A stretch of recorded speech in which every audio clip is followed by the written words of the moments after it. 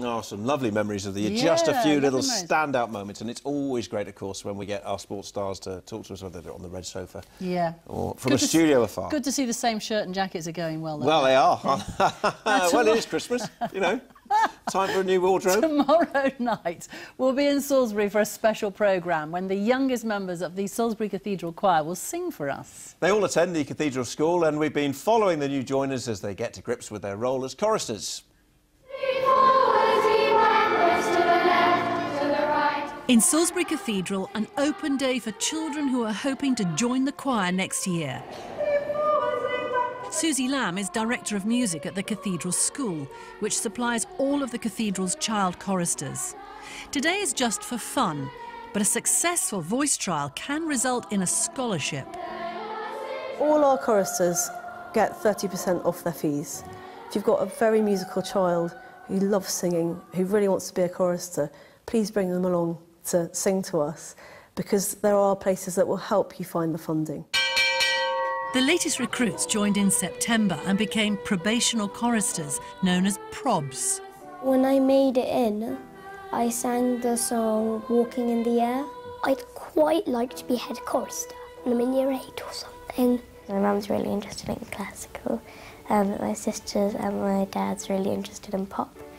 I'm really nervous, but then I've always thought I want to be an actress. Some of the probs are feeling a bit lost and still adjusting to their new routine. But choir master David Halls puts them at ease. Out of breath, bless you. Okay, verse 9. They're a little nervous, of course they are. You're working daily at a high standard. They switch from Latin to English to German to Italian. You have to just rely on your instinct in a way that this child has something that makes you think this is going to turn into something really good.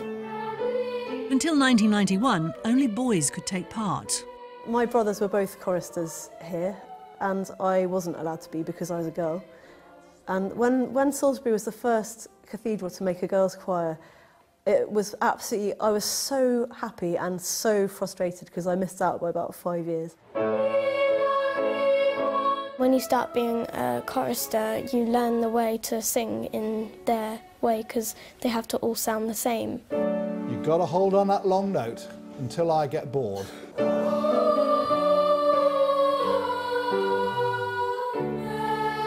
I want them to enjoy what they're doing. They work hard and they play hard, but it's a good atmosphere on the whole. Oh. Probably a bit long, I think. Yeah. Okay. Probs, you are now going downstairs. Mrs. Wetzel is taking the probs to be fitted with robes. First, a ruff. and we'll get you one a little bit bigger. It does feel a bit weird because the ruff is quite tickly. They get starched. Then a cassock, white for the girls, and the boys wear green. Probationers will sit in the service off to the side with me, and I'll help them follow along with their music and um, just learning how to sit still in the service. And they'll be able to see the choir, to see what they're doing and observe. In the first term, it's only a couple of times. I'm American, and my husband is here for work, and so while he's here for work, this is what I'm doing. I've learned proper English, I've learned the Anglican church, I've learned boarding school, English schools. It's the best job in the city. And you start to walk not too fast. Theo, don't cut your corner.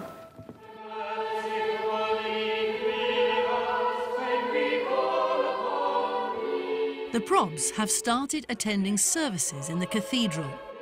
At first, it's just for experience, and they aren't allowed to sing. Boring. Just listening and following music.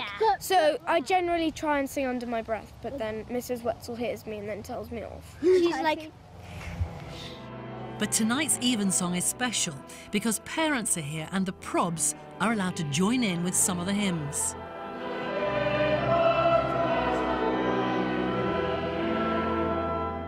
When they're ready, the probs will be promoted to full choristers. But that'll require more hard work. Good, let's do those verses again. Here we go. Like any cathedral in the land, we look at our choirs in September and think, oh, right, okay, we've got 10 weeks to get things up to standard for Advent and Christmas. And it feels like a new choir, but it works. Next year, new choristers will be here, surrounded by hundreds of years of history and tradition, even in the song room with its heavy oak cabinet where the Magna Carta once lay. That stone head thing up there. It's so freaky. and Miss and Mr. Halls, um, he said the music was by Handel, and then he said his first name was Door. what do you get when you drop a piano down a mine? Oh, I know that. A flat minor. and what do you get if you drop a piano on a battlefield? A flat major. Thank you. they like their jokes. They, They love do. their jokes, don't they? And we're going to be hearing them singing tomorrow night's programme, so don't miss it. Let's get the weather now. And uh, Sarah's here. So, what can we expect over the next few days? Well, we have got some more wet weather to come as we go into the weekend, but a drier picture as we look ahead to the Christmas